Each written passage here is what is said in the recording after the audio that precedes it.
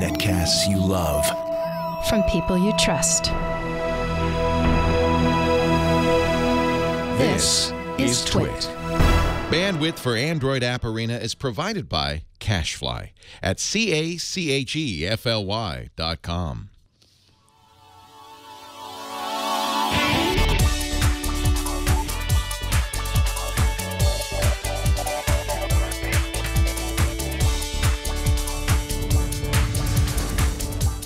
This is Android App Arena episode 60 for Wednesday, August 26th, 2015.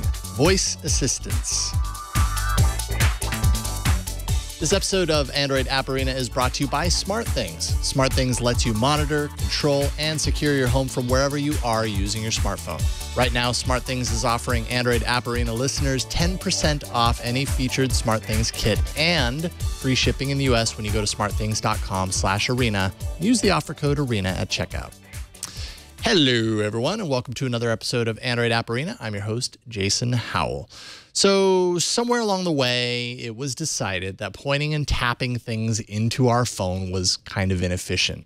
In the ongoing quest of making technology act and respond in more human like ways, we've seen a big trend with apps and interfaces that rely on us using our spoken voice instead. Voice entry and voice actions they're, they're finding their way into an increasing number of apps all over the place. But I guess that the category that benefits most from this right now is the category of digital assistants. These are apps that listen to what we're asking for and provide answers and context to match those requests. Solid speech to text is required to do this efficiently. And thankfully, that nut has been cracked pretty well at this point. Then it becomes a matter of whether the app is offering the right kind of data at the right time.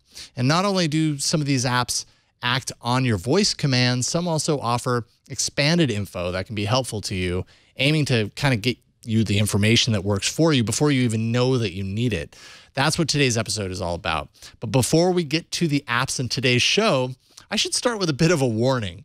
I'm going to be saying some commands in this episode, and that might actually set off your phone or tablet in interesting ways, let's say. This is, after all, an episode dedicated to voice assistants, and most of them have one big thing in common a wake up voice command. So, apologies in advance. Maybe you should hide your phone under a pillow uh, while you watch this or something along that, just to be safe. All right, with that said, let's take a look at three of the top voice assistants for Android in this week's Best of the Best. In May of this year, Microsoft announced that it would bring its own virtual assistant to iOS and Android. And this week, Microsoft delivered on that promise. Cortana is what Microsoft offers on its own Windows 10, Windows 10 Mobile, and Windows Phone platforms. And now, if you're willing to become a beta tester, you can try out Cortana on your Android device with an official non beta release coming soon. Being that Cortana is Windows first, Android second, you don't get everything that Windows users are accustomed to, partly because the app doesn't get the same system level access that Microsoft grants it on its own operating system. So instead of saying, Hey Cortana, Android users have to launch it manually. On my Lollipop Nexus 5, I can assign it to the swipe up from the home button action that's normally set for Google Now for quick access. Now, when I fire up the app, Cortana asks if there's something she can help me with. The app is now waiting for my voice command so she can deliver that to the cloud and process my request. What's the weather like tomorrow? The forecast for tomorrow shows sun with a high of 82 and a low of 60. What does my schedule look like for tomorrow? You have 23 events for tomorrow. Show me Italian restaurants in Petaluma.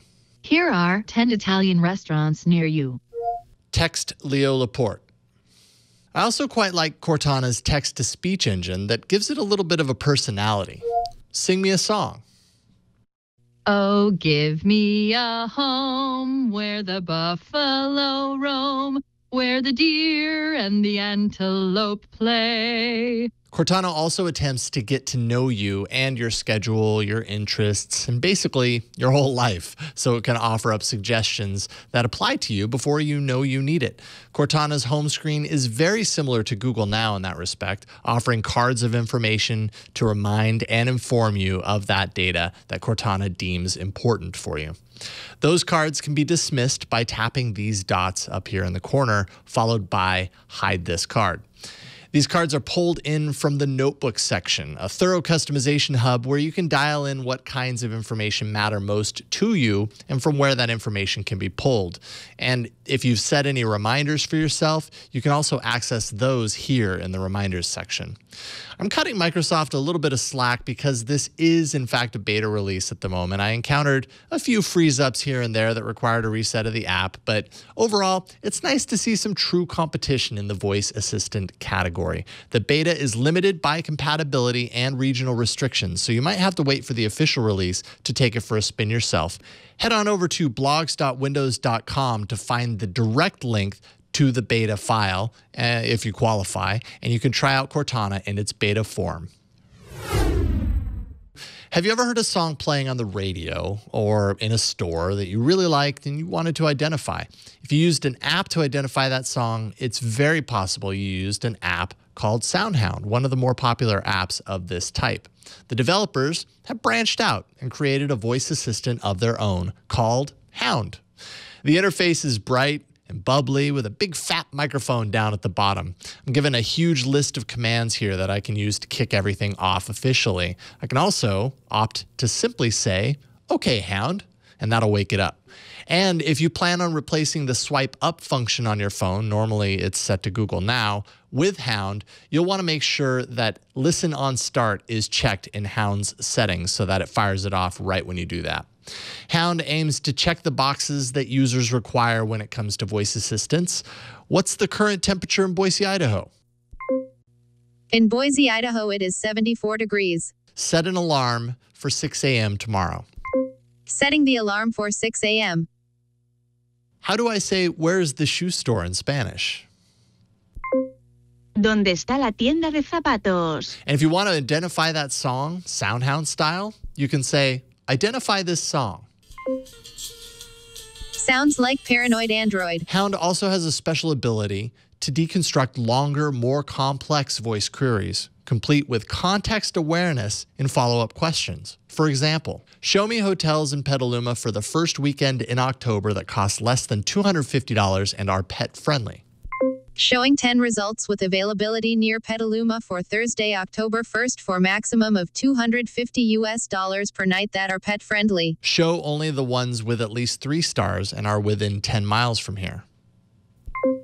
Okay, showing four results with more than three stars within 10 miles. That's super impressive stuff, though some basic commands do fall short. For example, what's my schedule like for tomorrow?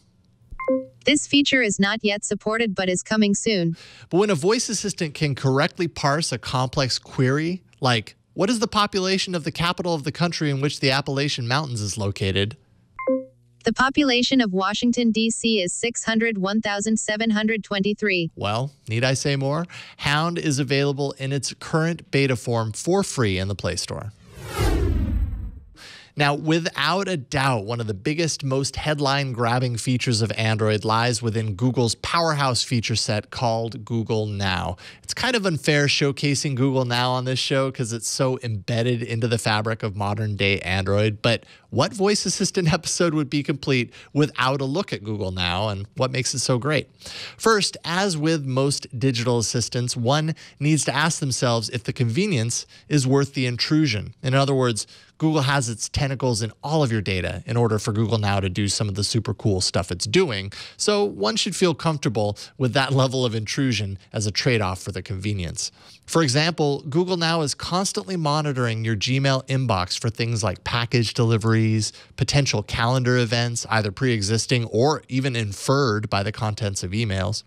When you do a Google search, Google Now retains that and will surface news links directly related to that as they arise. A one off search that I did for Justin Bieber resulted in a continuous stream of related news before I finally removed him manually in the settings. You'll get updates on TV shows, bill payment reminders, these awesome cards telling of the time it takes to commute to work or home, weather, birthdays. Honestly, Google Now has gotten wicked smart over the years, and its voice commands are super handy as Google gives Now unprecedented access to the underpinnings of Android. Okay, Google, turn off Wi Fi. Okay, Google, launch Facebook. Okay, Google, play the Beatles. All right. Okay, Google, remind me tomorrow to take a nap at 3 o'clock. Yeah, right. That's not going to happen. Another cool newish feature is that developers can build Google Now search capability into their apps. Okay, Google, search Netflix for Mad Men. Opening app. And Google Now is about to get even better once Android 6.0 Marshmallow launches officially in the next few months. Now on tap will bring Google Now's contextual smarts to any app you're using by taking a snapshot of the screen, churning the data it sees, and providing related information. Google Now provides so much more than I've covered here. For any Android user, it's definitely the solution that's closest to Google's grand vision. No need to find it in the Play Store. Google Now is likely already installed on your device. Now, it's kind of unfair to pit anything up against arguably one of Google's best known Android features, but as you've seen, the competition does a pretty darn good job at covering the bases and kind of differentiating themselves. So, Let's think this through. Cortana, it's a solid choice, particularly if you happen to be a regular Windows user, uh, be a desktop, or let's say you have a Surface tablet, whatever the device is. Cortana for Android is probably most useful in this regard because it bridges the data gap between your other Windows devices, syncing all that information across. Cortana on its own is useful, don't get me wrong, but you'll probably get the best benefit uh, if you actually live your tech life inside the Windows world normally.